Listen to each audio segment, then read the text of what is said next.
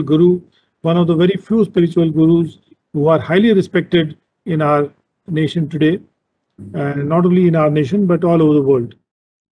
Uh, Shri Kamlesh Patel, that's his original name, Kamlesh D. Patel, Daji. He was born in Gujarat and uh, he showed an early interest in meditation and in spiritual growth. In 1976, as a pharmacy student in Ahmedabad, he met his guide, who was Sri Ramchandra of Shahjahanpur, whom we call Babuji, who was the founder and the first president of Sri Ramchandra Mission, of which Daji is the head. After graduating with honors in 1980, he moved to the US and practiced pharmacy in New York City, while also continuing the Raj Yoga system of Sahaj Marg with great devotion. He continues to excel in both his material career and in his spiritual life. Daji continued to follow Parthasarathi Rajagopalachari, who's called Chariji, who was the second president of Sri Ramchandra Mission after Babuji's passing and has held a number of increasingly responsible roles, as well as he has been offering his support to the growth of the mission worldwide. In October 2011, he was proclaimed as the as Chariji's successor, and in August 2012, uh, Daji was appointed vice president of SRCM with the full powers of the president. SRCM is the Sri Ramchandra Mission. Due to Chariji's failing physical health, Following Chariji's passing on the 20th of December 2014, he became the spiritual guide of the Sahaj Marg system and the third president of Sri Ramchandra Mission. He is often endearingly referred to as Daji. Daji and his wife have two sons. These days, he's constantly traveling, conducting meditation with yogic transmission for seekers worldwide, and speaking at the mission's many centers and ashrams as well as to the general public through newspaper articles, TV, and radio. He's a vital role model for anyone wanting to evolve as a human being and expand consciousness. A spiritual catalyst displaying the perfect blend of the Eastern heart and the Western mind. He is able to connect with people from all walks of life and backgrounds, giving special attention to today's youth. Daji is the fourth spiritual guide in the Sahaj system of Raja Yoga meditation he is a role model for students of spirituality who seek that perfect blend of Eastern heart and Western mind. He travels extensively and is at home with people from all backgrounds and walks of life, giving special attention to the youth of today. So that's Daji for you. And we have the Daji in conversation uh, with Kabir Bedi. Uh, Kabir Bedi has already joined and uh, he would be conversing with, with Daji. This is a, uh, an experiment that has been evolved uh, by a discussion between uh, the DTRTI and the team. And therefore, we hope that you love it, you love this uh, conversation. So let's go ahead with it. And we welcome wholeheartedly Daji as well as Kabir Bedi once again.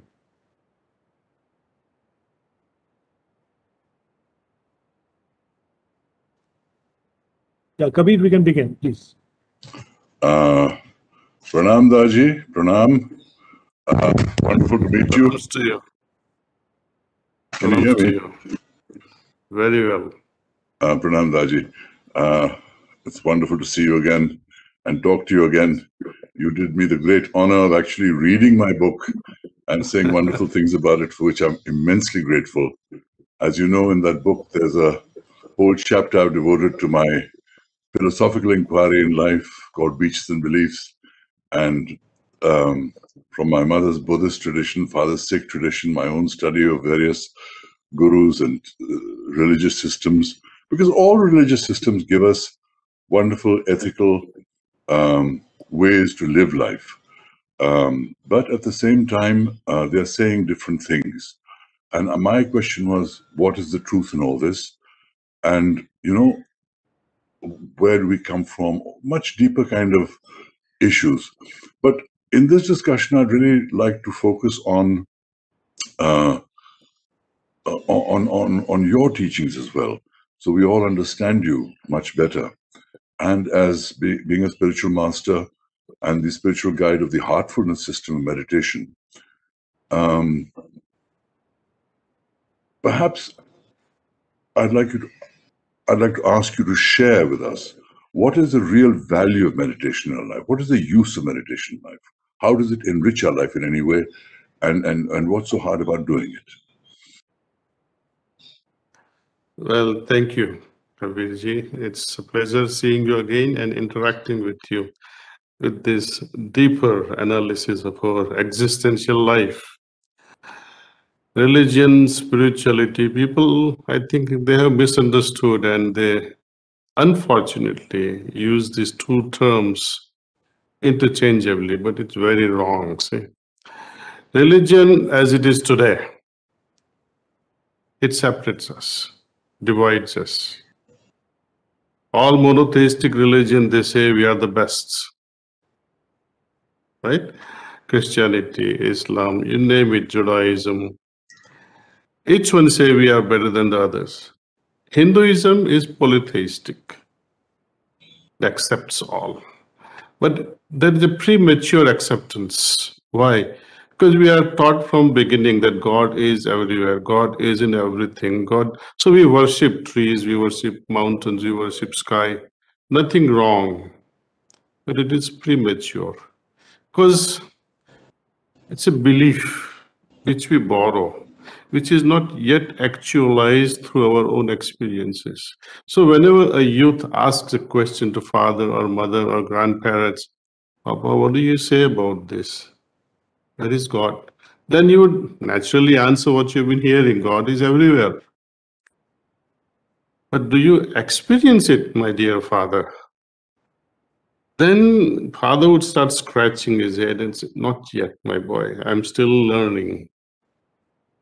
And so the curiosity dies down very fast from the heart of such young minds which are constantly looking for. They need guidance. Guidance, not in words, maybe in words, but it must ultimately lead to an experience if someone says, Oh, God is there, can I experience godly presence? Meditation helps us dive deeper into ourselves and not just any type of meditation. You know, there are meditations and meditations. And there are ways of they focus on their breath. There are people who focus on the light outside, like a deepam or a candle. Or some people focus on the sounds they hear some people, they focus on the uh, some nose, but ultimately, it is all about experiencing, feeling. Are you going to feel here? No. Are you going to feel things in your stomach? No. You have to feel the presence only in the heart. You can feel only there, nowhere else. So we meditate on the presence of the divine source, which is there in everyone's heart. Second element of this heartfulness practice is, you know, we have just watched prosthetics. Uh, Dr. Mehta or Mr. Mehta was explaining in detail with so much of enthusiasm what this Jaipur Foot has been doing worldwide. It is an aid. It helps you when you don't have your legs and you don't have your arms. They're all amputated or you have lost for one reason or the other, or maybe you were born like that. But when you get an aid, life changes. See, from misery to delight, from despair to delight, as he says, uh, that's a transformative life. In this meditation through heartfulness way, there is also an aid, aid of transmission. Pranahuti hmm. aided meditation transports you into superconscious state instantly. And I, like I always say, please don't believe my words, experience it. And how long does it take? Not much, maybe two or three sessions, and you'll start feeling that inner resources or sources we already have and with the help of this pranahuti, meditation becomes so much of a joy. Otherwise, when you do it on your own without the help of this pranahuti, what happens? You are stormed by so many thoughts. And after some time, you get, though you have interest, but you lose interest because you're not able to dive deeper within yourself. You are always on the surface. So you need something like this prosthetics that can propel our consciousness to higher and higher level that will entice us to meditate regularly, you see. Otherwise, we give up very fast. Right. Daji, I, I, um, in my early childhood, I was actually ordained as a Buddhist monk and I was in uh, Burma um, and I led the monastic life and I was trained by this great teacher, Mahasi Sayadaw, and the Vipassana technique. And while it is not the heartfulness technique, I must say that at that young age, going through this process gave me an immense understanding of how the mind works and how the mind can run away with you and how the mind often does run away with us. And we're not aware of the fact that our mind is running away out of control and governing our emotions, our feelings, our um, attitude to people. And in this meditation, basically, what it really does is raise your awareness because in focusing on, on, on those aspects of meditation, it makes you more aware of yourself. And therefore, your consciousness is raised. And then, together with the Buddhist teaching of compassion to all and kindness to all, and um, those things, it is, was a great help to me.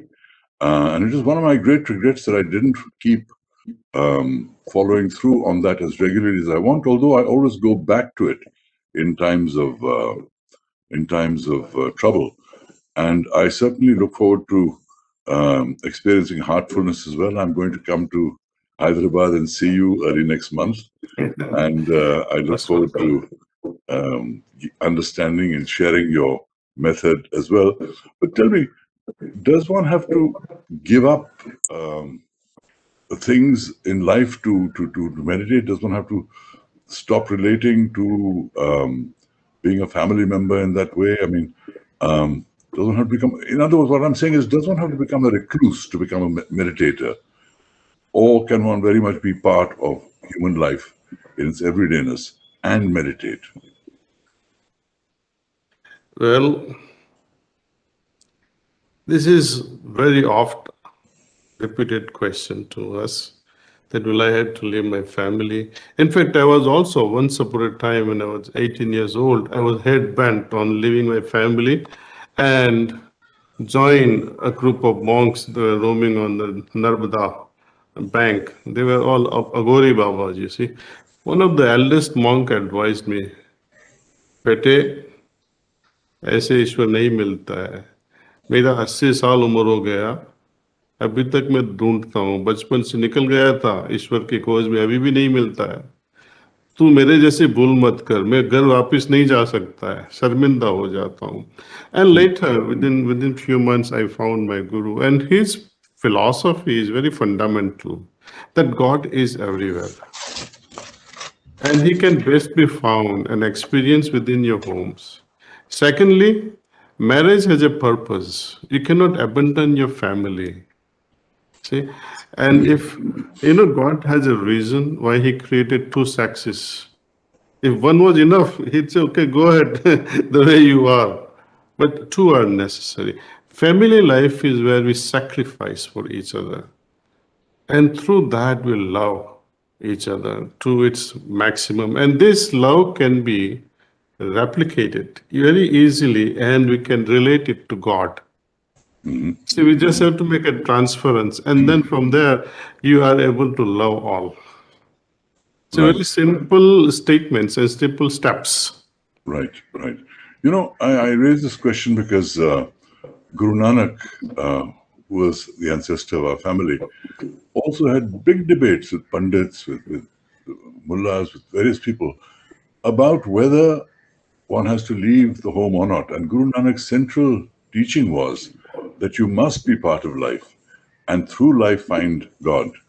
Uh, through life, find your evolution. Through life, raise yourself. And that seems to be very much your message as well that you can combine the two and each will enrich the other.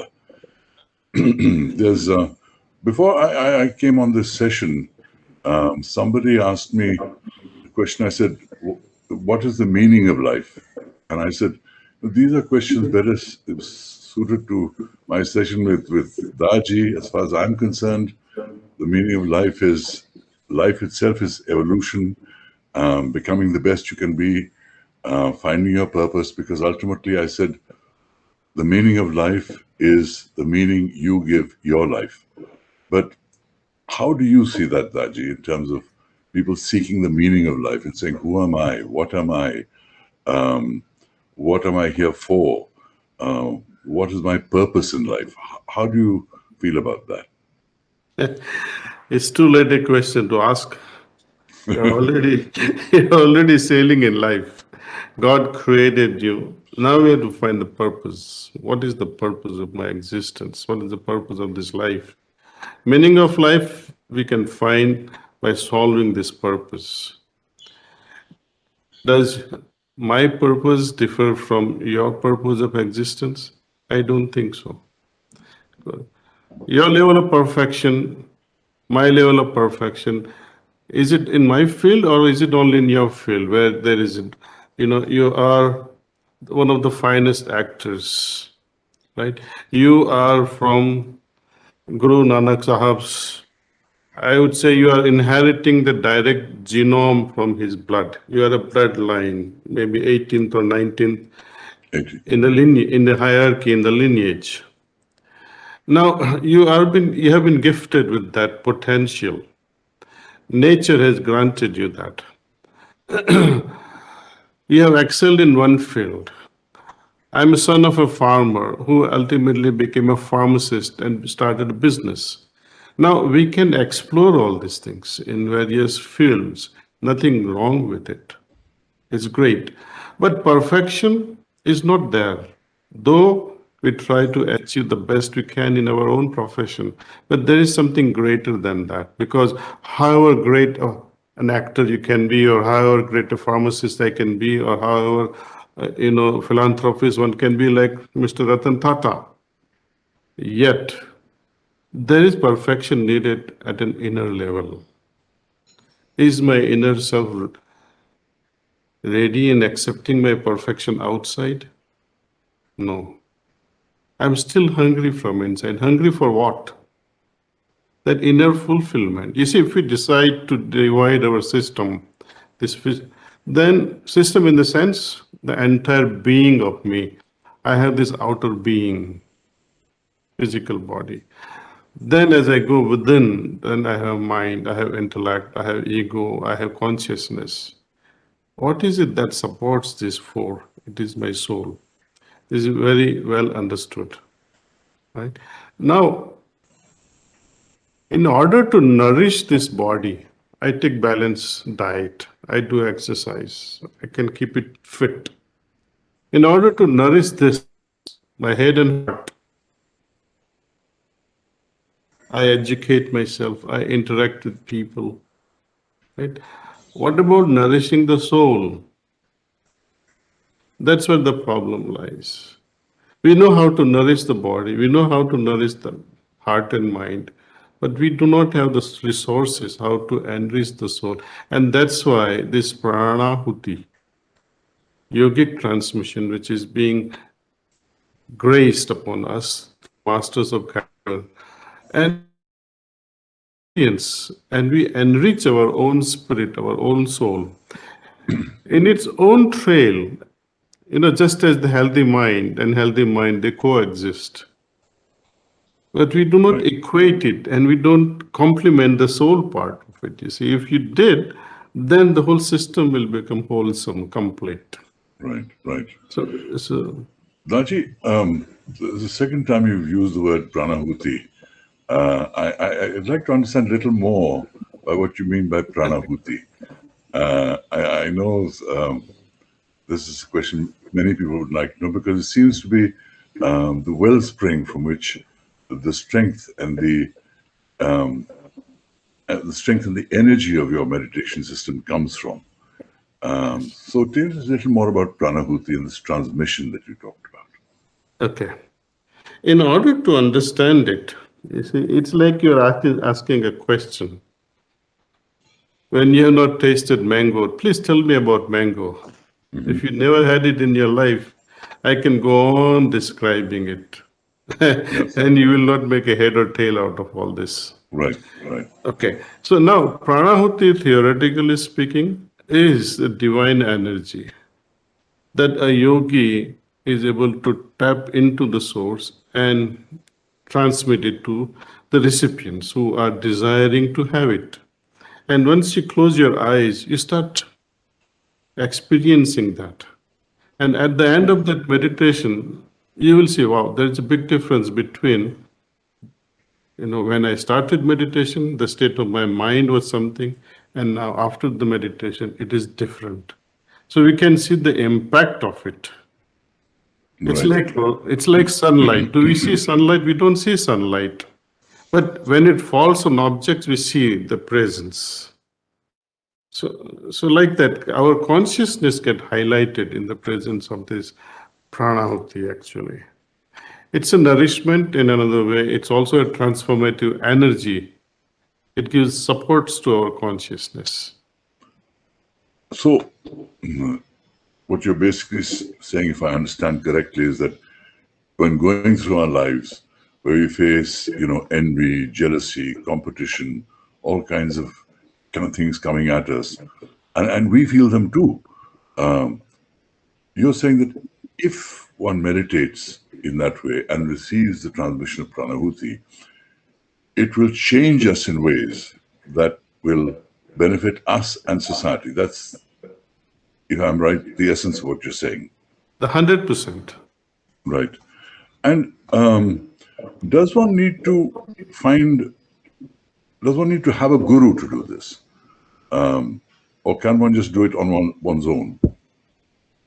Well, since you are depending on the successful meditation on pranahuti, you need a capable guru who can transmit to you, see. Right. See, I, I, I share with you a very small story.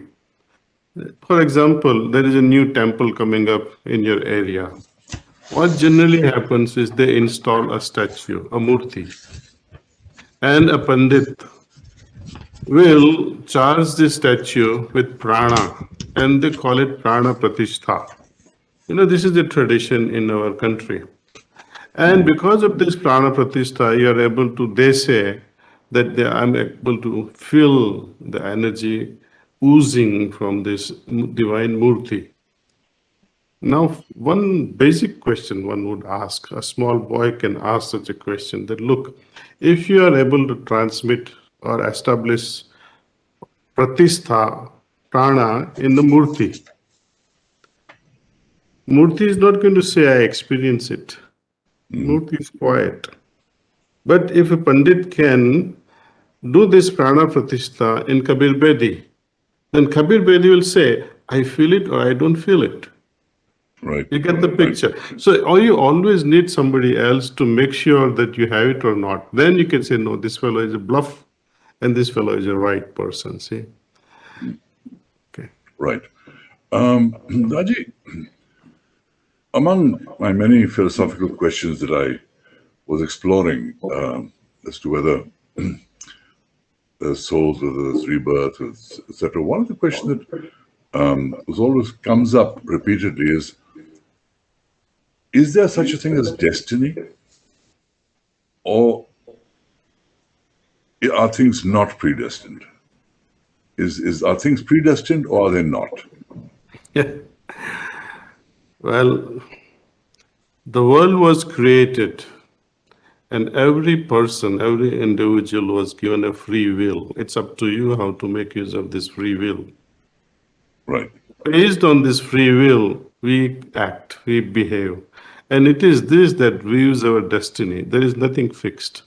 Either we say uh, you, you inherit from nature or you nurture it. I am a strong believer of designing your own destiny. There is no God who manipulates your destiny. 100%. Like in the case of Lord Rama, she could manipulate the destiny of Lord Rama and Lord Sita. You see? There is always a third party who can fool around with you. But that's not part of destiny, that is manipulation by somebody else. But you can, as an individual, either you want to follow through this or not. If I was the father of Lord Rama, I would say to hell with you, Kaikeyi. You, I'd like to fulfill my promises, but not like this. This is a wrong thing. Similarly, this pride of fulfilling a promise, our country changed because of that. It's nonsense. Mm-hmm. Mahabharata also suffers because of Bhishma's promise. He says, Oh, I have to protect Hastinapur and I cannot side with Lord Krishna or with Pandava, though I know they are right. But then you promise, you have promised Right, right. the wrong person. You See, Yeah. so your ego should not come in fulfillment. So ego changes the destiny. Your desires, your greed changes the destiny. See, Right. if you're following your heart, you're on your hmm. way. I, I, I raised this question, Daji, because I, I did read your book, Designing Destiny. Oh, and lovely. learned, learned much from it. And it's full of very deep uh, insights. And um, so essentially, you're saying is you make your own destiny through your free will, through your choices, through the thing. And there's nothing as though something is absolutely set in stone in the future uh, that you can't alter, given your vision, your drive, and your desire to evolve in certain ways or reach certain things and make a commitment to that. You make your own destiny, in other words. And one more question, Daji. You know, many people uh, believe in different things. Uh, there can be a Christian, there can be a Muslim, there can be a Hindu, there can be Hindus who, who believe in Ganesh, people who believe in Shiv, Shiv Bhakts, people who believe in uh, other gurus. Is there any contradiction between these people believing what they believe and doing your system of meditation? Is there, is there any disloyalty involved there? Is there any um, conflict invo- involved in the two ways of looking at life and philosophy? Well, I had this problem also because I was raised in a very orthodox Hindu family. Used to do education in um, based. We used to do the Havan.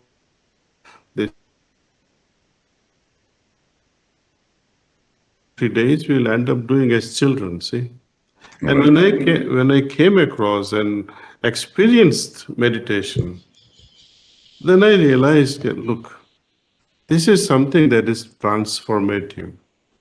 People keep on doing these rituals after rituals after rituals and don't go anywhere. We keep on doing all this, breaking the coconuts and lighting up the dipam. They are all symbolic things. Perchance, if you forget that, oh, I didn't do this, you feel so bad about it, and you say some calamities might occur.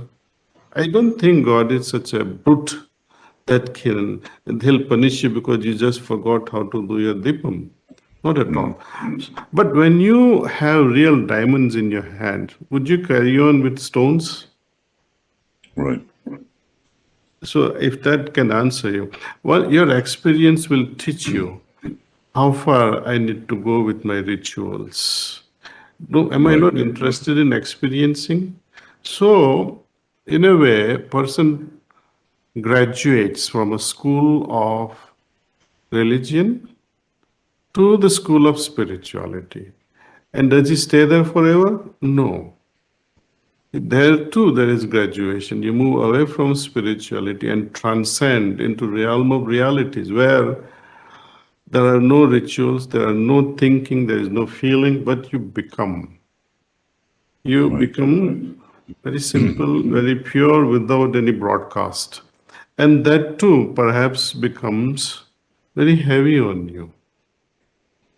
You know? Right. And that too, then you, you try to detach yourself from this ultimate bliss that you get and see what do i have to do with this bliss? What will i do? And you discard that also. And that is real detachment. You know people say let me become sannyasi. That is not detachment. Ultimate test is this. God grants you the ultimate bliss and see if you fall for it. Right. if you fall for the ultimate bliss you have failed it transcended you better transcend that too Wow.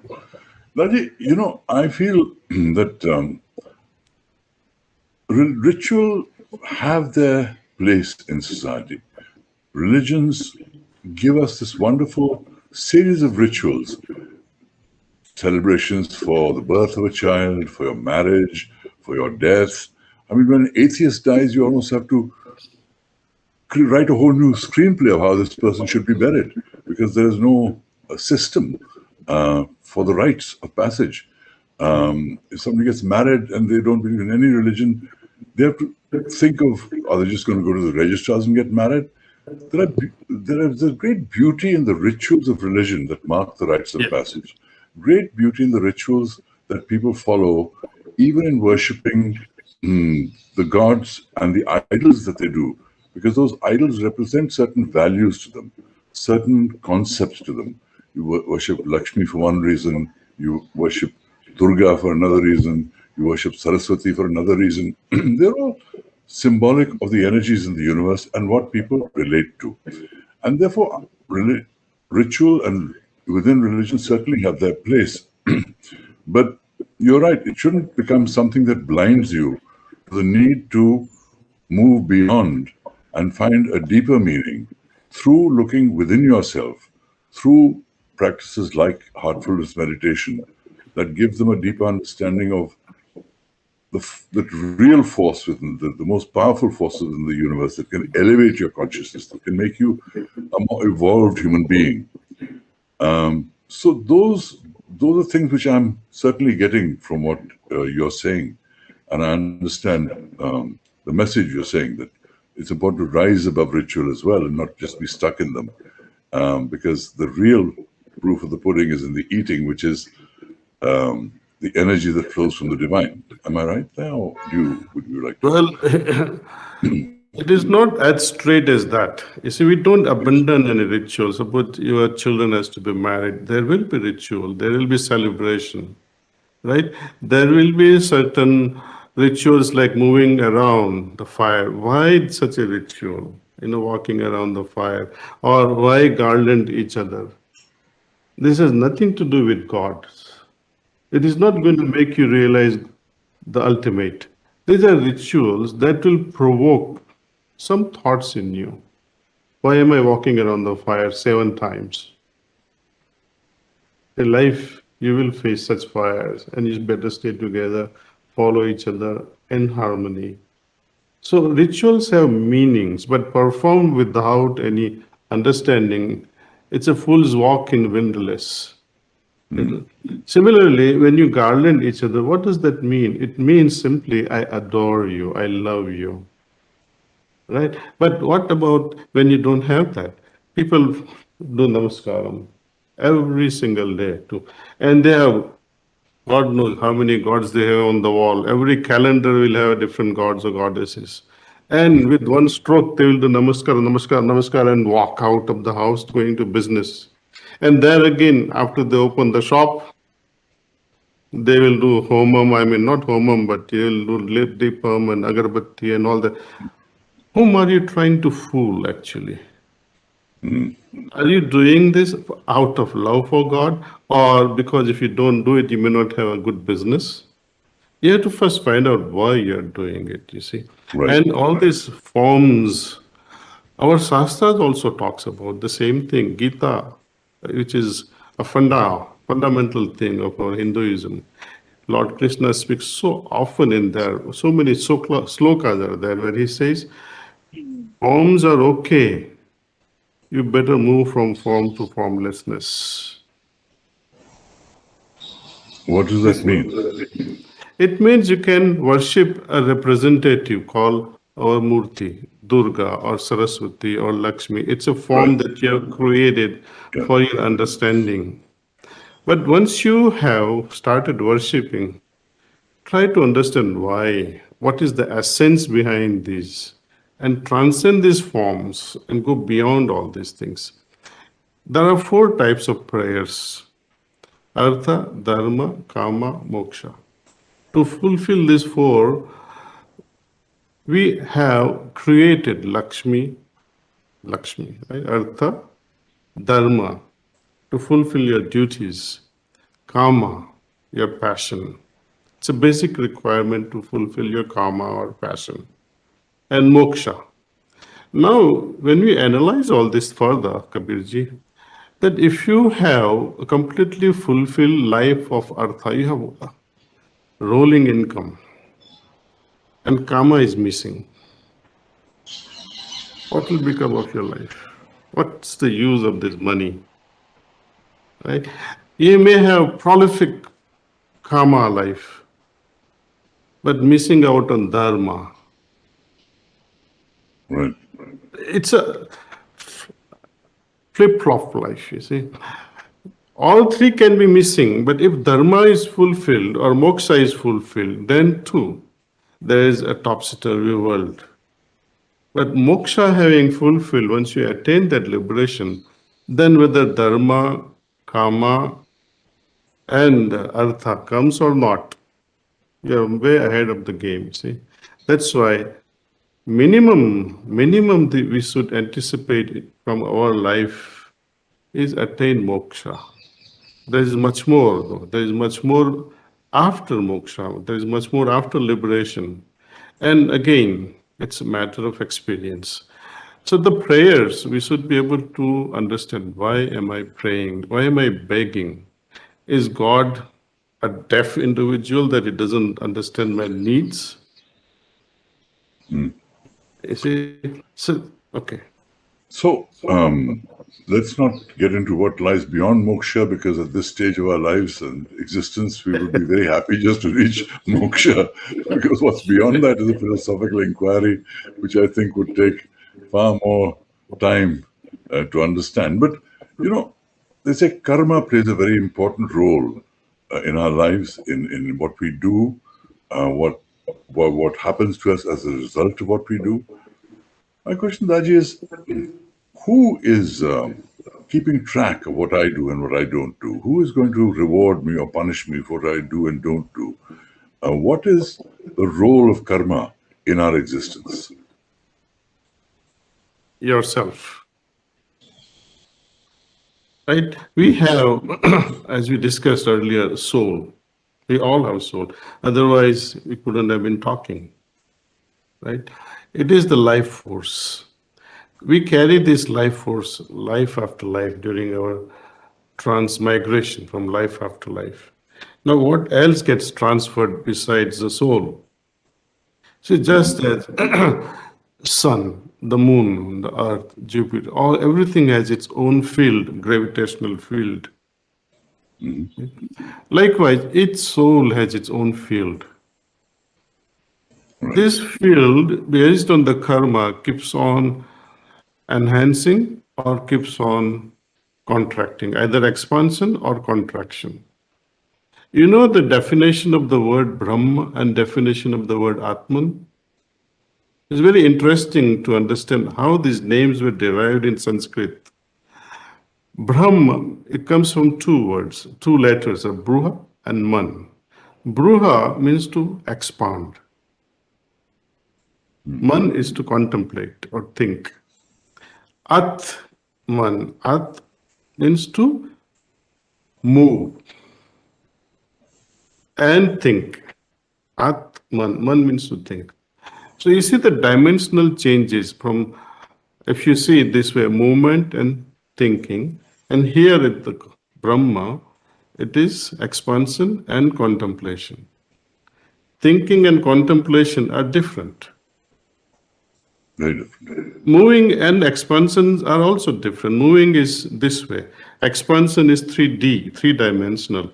Now, when we talk about this consciousness aspect of it, the field that we talked about, as it expands because of your actions, because of your thoughts, because of your attitude, it can cover the whole universe. But why does it contract and fall into its own black hole? Your desires, your greed, it, it destroys or distorts the field around the soul. So this field gets affected by this, what we call our actions and thoughts and attitudes, especially. Mm-hmm. And we carry this field along with the soul, and that is determining our future. It is the And field. that- so that thing, that is what causes the reaction to what I do. That is what gives me the result of what I do, good, bad, evil, pure, whatever I do, creates its own reaction. It's in us. So you're, it's in a sense almost like Newton's law. Every action has an equal and opposite reaction. You no, no, no, no. I don't agree with Newton's law. No, in fact, it's the contrary. That e- every action has the same reaction. Not No, really- no, no, no. No? In spirituality, it doesn't work. In the emotional world, also, it doesn't work. I mean, you recall you have written so well about your, you know, your love, uh, your first love. When she winked at you first, did you wink back equally? No. You had perhaps an heart, I mean, earthquake in your heart when she winked at you for the first time. It was just a mere wink of an eye. But see the reaction in the heart.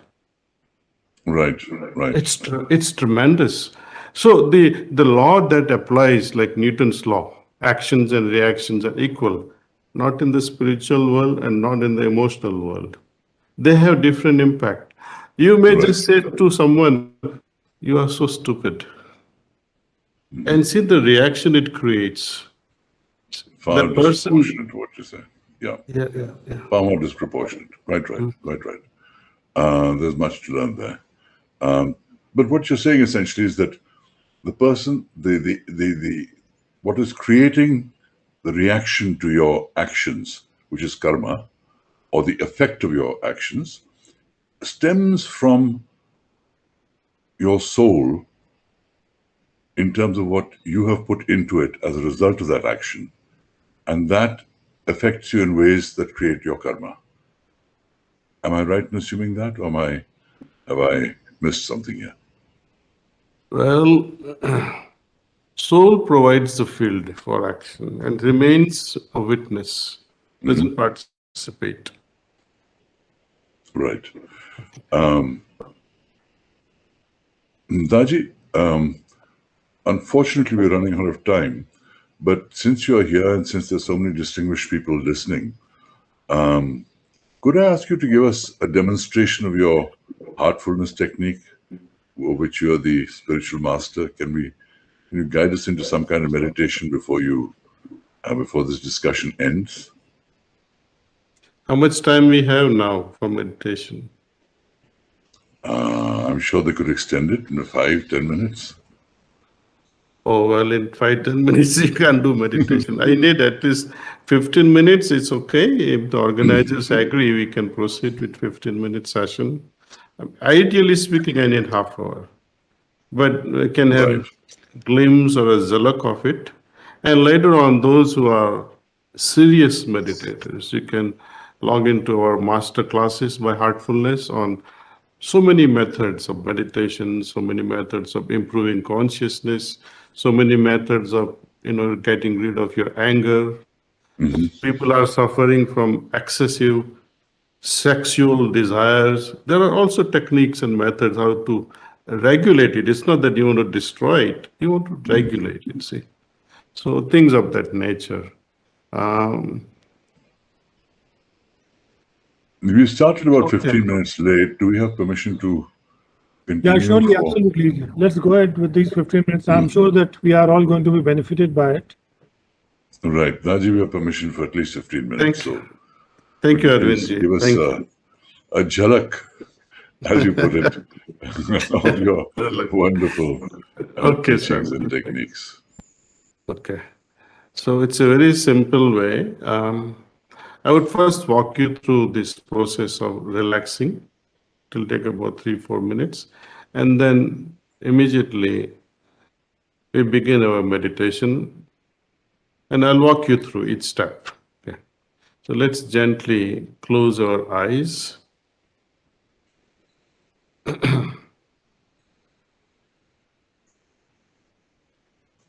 Imagine for a moment that the energy from Mother Earth is entering through your feet and helping you relax as it enters.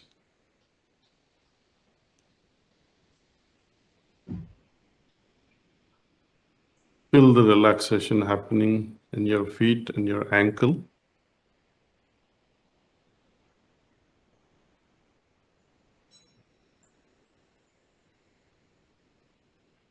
Allow this energy to move upward, your lower legs and calf muscles.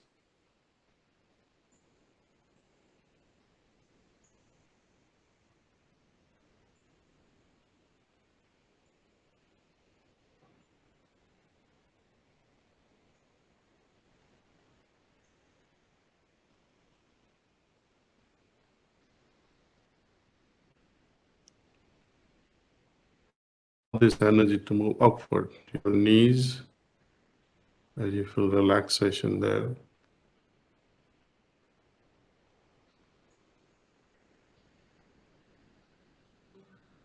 Now your thigh, thigh muscles.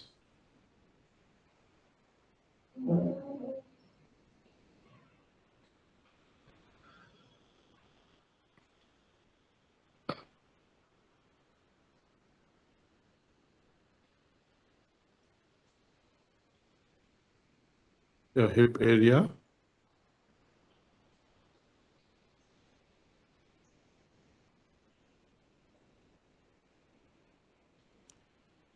Allow this energy to move up, helping you relax your back.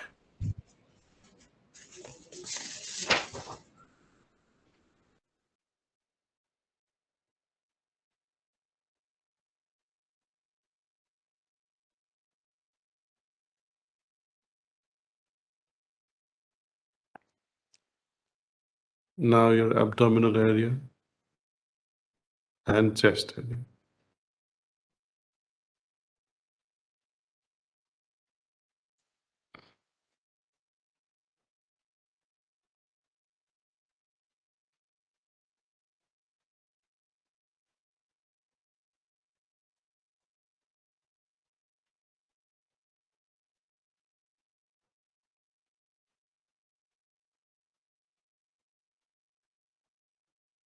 Now your sh- shoulders. Feel the shoulders almost melting away and becoming lighter.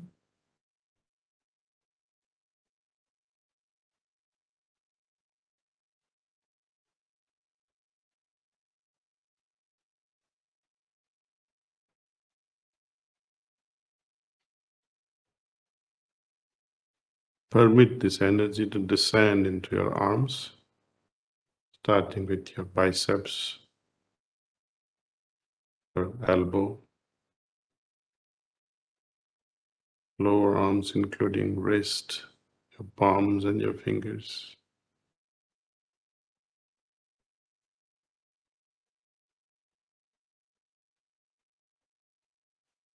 Let this energy ooze out through your fingertips. It's okay.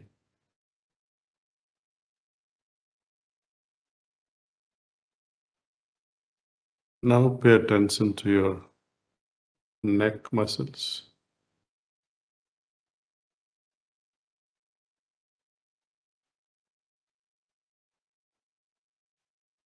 Allow this energy to move upward, relaxing your jaws. Drop your jaw if you have to. Suspending your tongue inside your mouth relaxing your lips, all your facial muscles, including forehead, your eyebrows, your eyelids, your nose.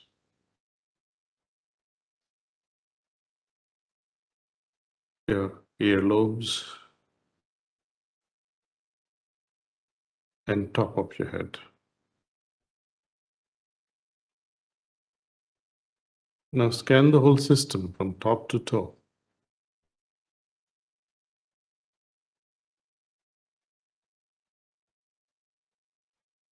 Okay. By chance, any part of your body which is still stressed, you can revisit and help it relax.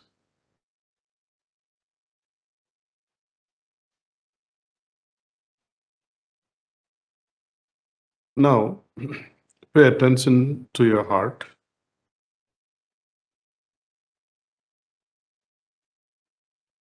Imagine that My heart is already filled with divine light. Which is attracting my attention inward.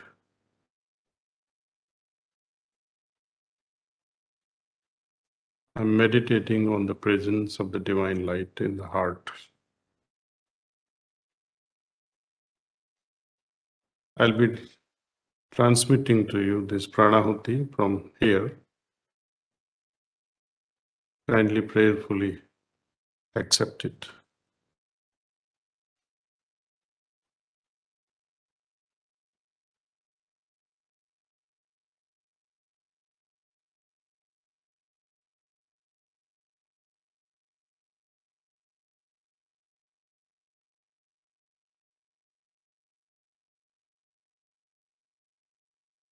You for another 10 minutes or so.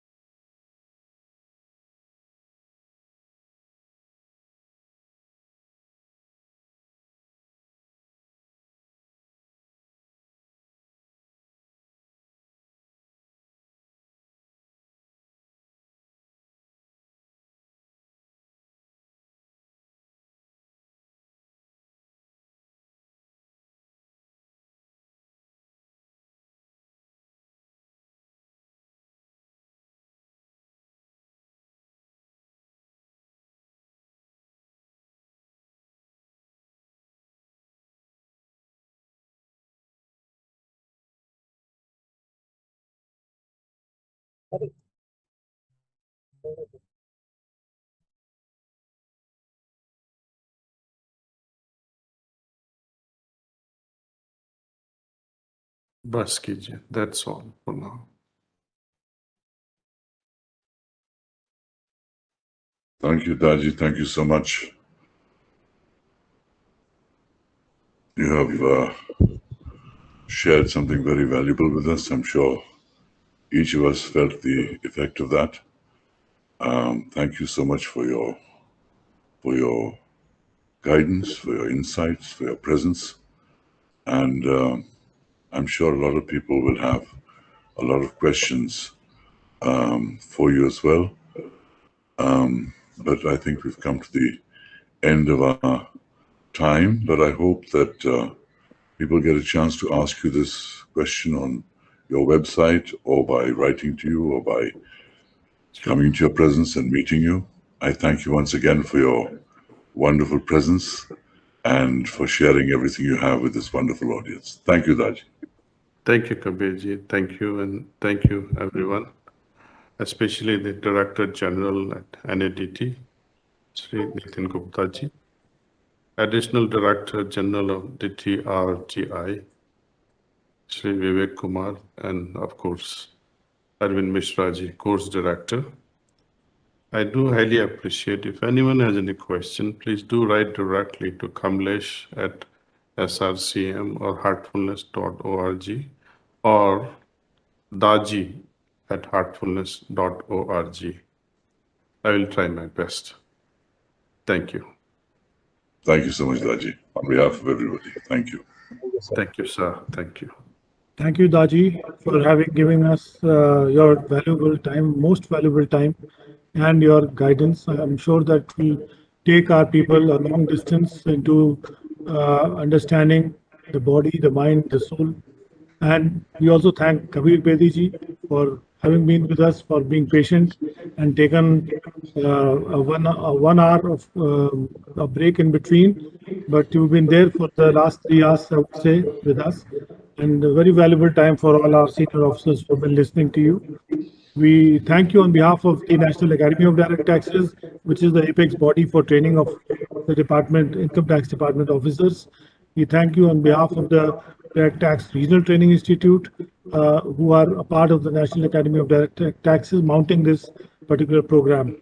Uh, we are extremely thankful to your team, Daji, who has been in touch with us and uh, uh, they have offered us a great deal of uh, support in organizing this program.